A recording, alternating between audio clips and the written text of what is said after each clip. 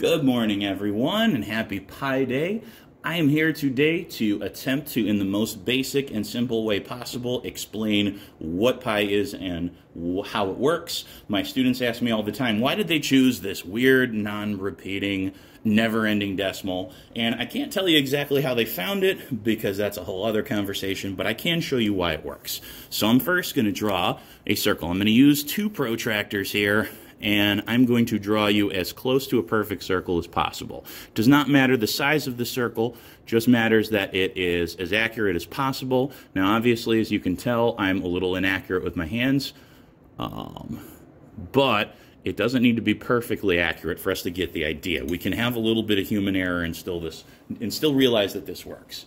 Now, first thing I'm going to do is I'm going to find the diameter of this circle and I'm going to do it with a piece of string that I pre-cut.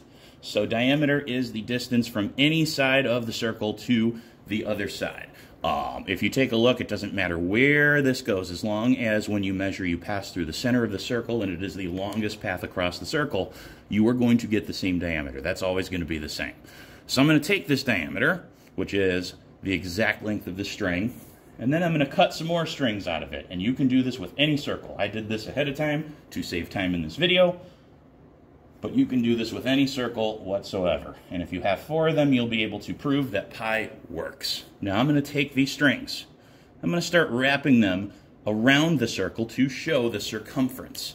For uh, those of you needing a review of math terms, the circumference is the distance around the circle. It's kind of like the perimeter of a square or rectangle, but it is the outside border of a circle. That is the circumference.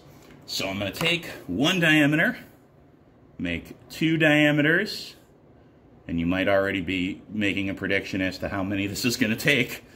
Three diameters, and not quite a fourth, but a portion of the fourth will go right here. What portion will that be? That will be uh, 0.14159 going on and on. And the reason why is because every circle, the cir uh, sorry, the circumference will always be equal to 3.14159 or pi times the diameter. So if you take the diameter of any circle multiply it by 3.14159, you will get the circumference. That's why we use it to find, you know, areas of circles, areas of all sorts of things, is because when it comes to the circle, that is the closest and most accurate way we've come to uh, basically compare the diameter, which once again is across, and the circumference, which is, I'm going to draw a really hastily drawn thing here. The circumference is the distance around.